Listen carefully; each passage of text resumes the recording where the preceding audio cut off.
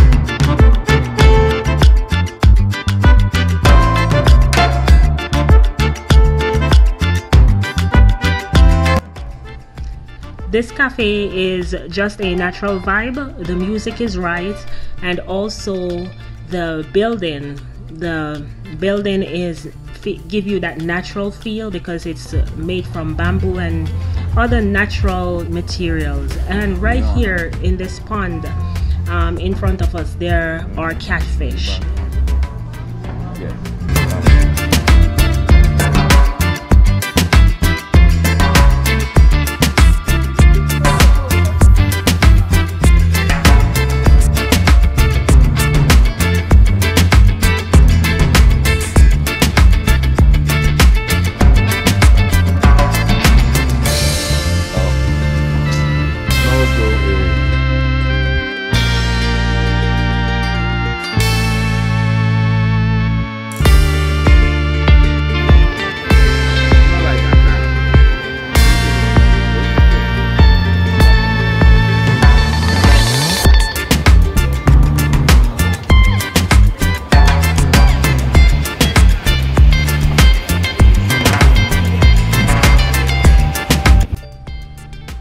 So this is some of the things we got to eat.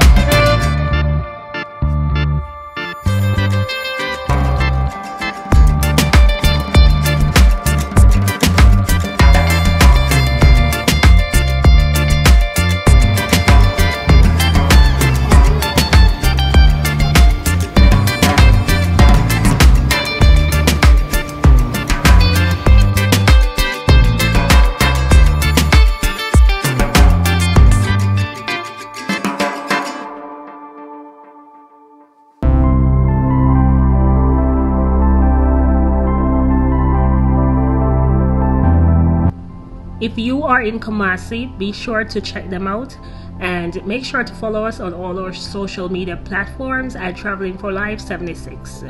Thanks for watching and see you in our next video.